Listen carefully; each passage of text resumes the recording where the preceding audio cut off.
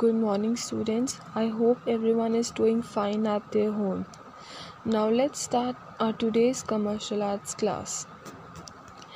In the last class, we discussed about the modern trends of Indian art, where we discussed about the paintings and descriptions and graphic designs of the modern era. In today's class, we are going to focus on the practical part of our commercial arts syllabus. Today, we are going to discuss and refresh our memories on how to make a poster, which sheet should be used, which medium is to be used while making a poster, and which type of colors are to be used while making a poster, and what kind of brush, brushes, brush strokes are to be used in a poster. Now let's start. You all must know as you have made posters in your 11th standard also that the poster should be made on an A2 size sheet and a 1 inch border is to be left on a poster so that it comes out nicely and looks neat. It is your choice if you want to leave a border or not, but it is preferred to leave a border. Now, when coming to the medium, there are always poster colors that are used in the medium for poster. Poster colors are flat and are to be used by flat brushes. Always remember use flat brushes in flash strokes while making a poster so that it comes out neatly and in a matte texture because posters are made in a proper form. While making an illustration, we use watercolors. We use watercolor medium so that it comes out as a scenery, so that it looks like a scene. But in poster, we are conveying a message our main purpose to make a poster is to convey a message or to attract uh, the viewer and the public towards a certain brand, towards our problem, towards a certain issue, or anything that we want to convey through our poster. So, hence, poster is a medium of conveying a message. So, to convey the message clearly, while writing a slogan or a heading, the letter writing, the medium, the type of letter writing should be in bold letters.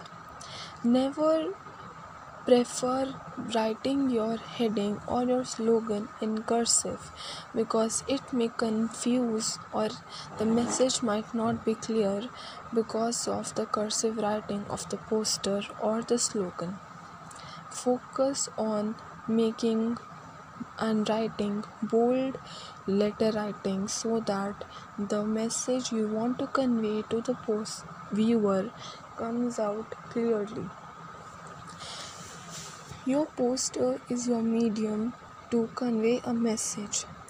So it is not necessary to make a proper figure just as we make an illustration while making a poster. You can make a logo or you can make a shadow since your topic for today's class is dance india is famous for many things and one of them is its dance forms india has a rich culture of dance form and for today's class you have to pick any dance form that you like of India and make a creative poster on that. In previously I mentioned you what to make and how to make a poster. So now right now you are seeing some references on your screen for your poster on Indian dances. It is your choice on whichever dance form you want to make a poster. Make a creative poster on Indian dance by taking reference, by taking ideas, and by seeing what it is.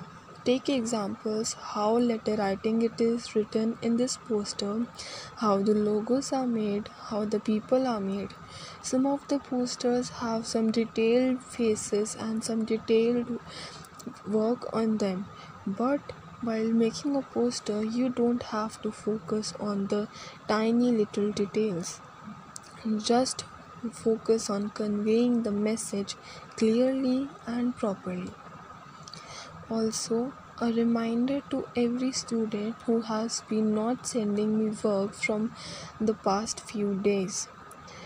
A reminder is that you have to send me your work and it is mandatory and compulsory for every student so that i know what work you are doing and if you need any help feel free to ask me anytime and any day.